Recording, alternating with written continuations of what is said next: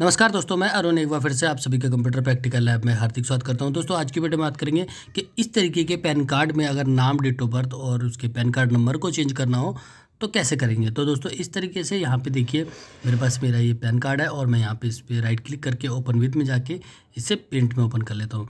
तो दोस्तों, देखिए, मेरा एम एस पेंट ओपन हो गया है। एम एस पेंट के अंदर मेरा ये पैन कार्ड है। और हम यहाँ पे इसको कुछ एडिट करेंगे। तो दोस्तों एडिट करने से पहले मैं आपको ये चीज़ बताना चाहता हूँ कि दोस्तों देखिए, अगर मैं यहाँ पे इसके नाम को हटाता हूँ तो बैकग्राउंड यहाँ पे दो तरह के हैं। एक इसमें यहाँ पे लाइट बैकग्राउंड है, यहाँ पे और एक डार्क बैकग्राउंड है। तो इस तरीके की एडिटिंग करने में, थोड़ा सा बैकग्राउंड को इरेज करने में एडिटिंग का पता चलता है। देखिए, कुछ इस तरीके से ये देखिए, यहाँ पे हम इसको इस तरीके से इरेज करेंगे बैकग्राउंड को तो पूरा क्लियर इमेज ये नहीं आएगा। और वो एक एडिट किया हुआ लगेगा। तो दोस्तों यहाँ पे मेरे पास एक दूसरा पैन कार्ड भी है, मैं यहाँ पे इसको ओपन विद में जाके पेंट में ओपन कर लेता हूँ। पेंट में ओपन करने के बाद दोस्तों, देखिए, ये जो मेरा पैन कार्ड है, ये सिर्फ़ एक तरीके से मान के चलिए, मुझे इसे बैकग्राउंड की तरीके से यूज़ करना है। तो ये बैकग्राउंड है, यहाँ पर ये इरेज है इसका। तो मैं यहाँ पर इसके बैकग्राउंड की सपोर्ट लूँगा। तो यहाँ पर क्या है कि दोस्तों, देखिए, मुझे यहाँ पर इस वाले एरिया का सिलेक्शन करना है, क्योंकि जो मेरा अरुण कुमार लिखा हुआ है, वो इतने एरिया में लिखा है और डेट ऑफ़ बर्थ भी इतने एरिया के अंदर है। तो मैंने इस एरिया को यहाँ से कॉपी कर लिया कंट्रोल सी और कॉपी करने के बाद हम अपने पुराने वाले पैन कार्ड में आ जाएँगे और यहाँ पे हम इसे पेस्ट कर देंगे। पेस्ट करने के बाद दोस्तों देखिए बैकग्राउंड से कोई इसको ऐसे मैच कराना है कि ये पूरा मिल जाए इसमें। तो दोस्तों देखिए, कुछ इस तरीके से मिलने के बाद ये आपका बैकग्राउंड कुछ ऐसा दिखने लगता है। अब आप यहाँ पर कोई अगर उस टेक्स्ट में चेंज करना चाहते थे तो वो टेक्स्ट भी कर सकते थे। बाकी आप न्यू टेक्स्ट भी यहाँ पे अब ऐड कर सकते हैं। इसके बाद दोस्तों देखिए नीचे वाला एरिया भी कुछ इसी बैकग्राउंड का है तो यहाँ पे परमानेंट अकाउंट नंबर के नीचे का बैकग्राउंड कुछ इस तरीके से हम कॉपी कर लेंगे कंट्रोल सी और यहाँ पे हम इसे पेस्ट कर देंगे। पेस्ट करने के बाद इस एरिया को भी उठा के लेके आएँगे और हम अपने इस बैकग्राउंड से बिल्कुल मिलाकर इसे इस तरीके से छोड़ देंगे। तो दोस्तों देखिए यहाँ पे ये इरेज हो गया। इसके बाद दोस्तों यहाँ पे हम एक बार दोबारा कर लेते क्योंकि वो थोड़ा सा ठीक से मैच नहीं हुआ था। और जब ये मैच हो जाए तो आप इसको छोड़ सकते हैं। तो दोस्तों, देखिए कुछ इस तरीके से बैकग्राउंड में मिल गया है। अब यहाँ पे इसके बाद, दोस्तों, ये हमारा दो काम हो चुके हैं इसमें। ये दो एरिया दो चीज़ें यहाँ पे हमने इरेज कर दी हैं। इसके बाद, दोस्तों, देखिए, हमें यहाँ पे अपने टेक्स्ट को एडिट करना है। तो टेक्स्ट को एडिट करने के लिए यहाँ ए वाले इस टूल पे क्लिक करेंगे। इसके बाद यहाँ पे हम ए पर क्लिक करने के बाद यहाँ कर्सर को क्लिक करेंगे। और क्लिक करने के बाद यहाँ पे आप जो नाम आप देना चाहते हैं, वो नाम हम यहाँ पे लिखेंगे।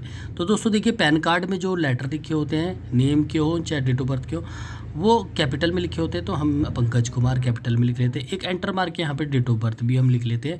डेट ऑफ़ बर्थ हम उसी फॉर्मेट में लिखेंगे, जैसे पैन कार्ड में लिखी जाती है।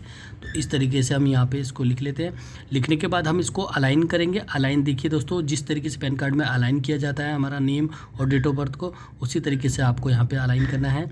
तो ये हमारा परमानेंट अकाउंट नंबर के अलाइन में चलता है। कुछ इस तरीके से। तो दोस्तों, देखिए, नाम और डेट ऑफ़ बर्थ हमारे आ चुके हैं। यहाँ पे हम एलेवन का साइज़ और एरियल का फ़ॉन्ट लगा लेते हैं, क्योंकि जो पैन कार्ड में हमारा फ़ॉन्ट है, वो कुछ इसी फ़ॉन्ट फेस में चलता है। दोस्तों, अब यहाँ पे हम इसका पैन कार्ड नंबर भी लिख लेते हैं।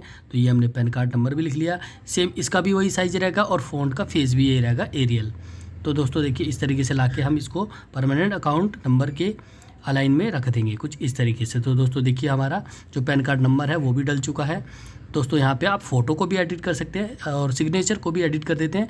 लेकिन सिग्नेचर को एडिट करने से पहले हम फिर से इस टूल की मदद से अपने नए वाले पैन कार्ड में आएँगे और इस एरिया को उठाएँगे सिग्नेचर वाले को।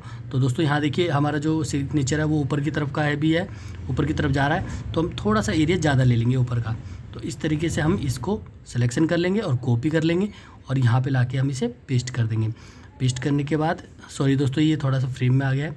दोबारा से मैं इस वाले टूल को ले लेता हूँ और अब यहाँ पे हम इसे पेस्ट करते हैं। तो दोस्तों, ये आ गया है। अब इसको उठाकर कुछ इस तरीके से आप यहाँ रख देंगे और ये रखने के बाद कुछ इस तरीके से आपका सिग्नेचर वाला पार्ट भी यहाँ आ जाता है और ये कुछ इस तरीके से मैच हो जाता है इस पर इसके बाद आप अब यहाँ पे सिग्नेचर ऐड कर सकते हैं। तो यहाँ पे देखिए दोस्तों, एक पेंसिल दी हुई है। इस पेंसिल पे आप क्लिक कीजिए और एक डिजिटल सिग्नेचर यहाँ पे कर लीजिए। तो दोस्तों, इस तरीके से मैं थोड़ा सा जूम कर लेता हूँ। और यहाँ पे आप, जैसे ये पंकज कुमार हैं तो मैं पंकज कुमार के नाम को एक सिग्नेचर बना लेता हूँ। कुछ इस तरीके से। तो दोस्तों, देखिए पंकज कुमार का हमारा एक सिग्नेचर भी बन गया है। फ़ोटो आप चाहें तो फ़ोटो भी ऐड कर सकते हैं। फ़ोटो में के लिए मैंने ये डमी यूज़ किया हुआ है। तो दोस्तों, इस तरीके से फ़ाइल को यहाँ पे सेव कर लेंगे और सेव करने के बाद अब यहाँ से इन सब फाइलों को बंद कर देंगे।